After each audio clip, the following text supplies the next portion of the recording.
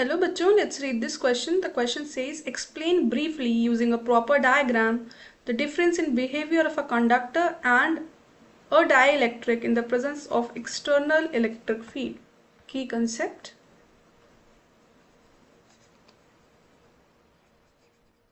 Dielectric. So dielectric क्या होता है Dielectric होता है एक insulating material. जो कि इलेक्ट्रिक फ़ील्ड को प्रोड्यूस कर सकता है without conduction so dielectric dielectric it is an insulating material material that that can produce electric effect without conducting.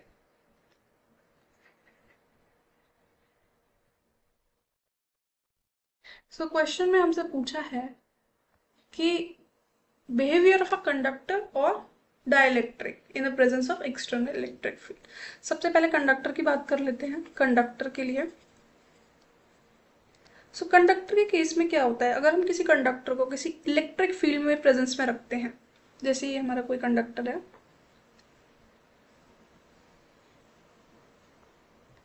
इसको हमने किसी इलेक्ट्रिक फ़ील्ड के प्रेजेंस में रखते इस डायरेक्शन में electric field external electric field so जब हम किसी कंडक्टर को एक्सटर्नल इलेक्ट्रिक फ़ील्ड में रखते हैं तो चार्ज डिस्ट्रीब्यूशन होता है।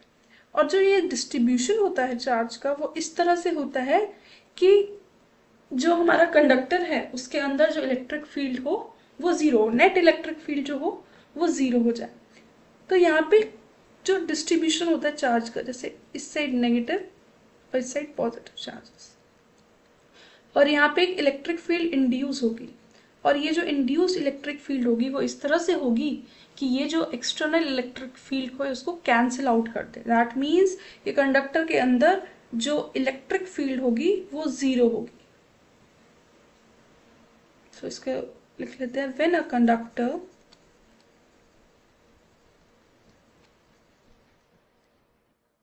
is placed in electric field charge distribution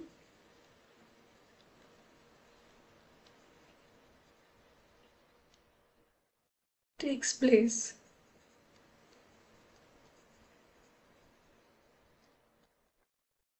The distribution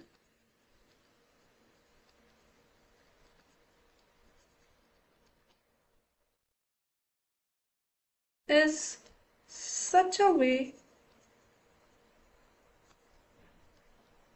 that the electric field is zero inside the conductor. Conductor के अंदर जो इलेक्ट्रिक फ़ील्ड हो, वो ज़ीरो है और वो ऐसे होती है कि जो electric field produce induce charge की वजह से जो इलेक्ट्रिक फ़ील्ड है, वो बाहर वाली इलेक्ट्रिक फ़ील्ड को कैंसल आउट कर देती है अब डायलैक्ट्रिक के लिए देख लेते हैं। डायलैक्ट्रिक के केस में क्या होता है? डायलैक्ट्रिक के केस में जो एक्सटर्नल इलेक्ट्रिक फ़ील्ड होती है, जब हम किसी डायलैक्ट्रिक को किसी एक्सटर्नल इलेक्ट्रिक फ़ील्ड में रखते हैं तो इंड्यूस इलेक्ट्रिक फ़ील्ड डायलैक्ट्रिक के अंदर इस तरह से प्रोड्यूस होती है, वो प्रोड्यूस तो अपोजिट डायरेक्शन में होती है। पर इस तरह से प्रोड्यूस होती है कि उसका जो मैग्नीट्यूड होता है, वो होता है E nought by K so, अगर ये कोई डायलैक्ट्रिक है इसको हमने किसी इलेक्ट्रिक फ़ील्ड में रख दिया एक्सटर्नल इलेक्ट्रिक फ़ील्ड सो यहाँ पे चार्जेस प्रोड्यूस हो गए. Negative positive negative positive negative positive यहाँ पे भी इसी तरह से.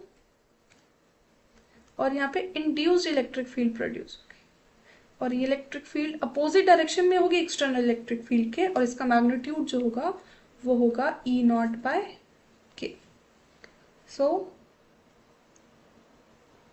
an induced electric field appears in dielectric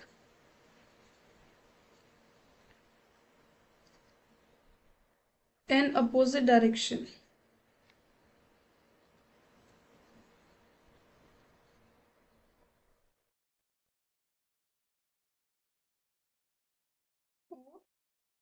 external electron.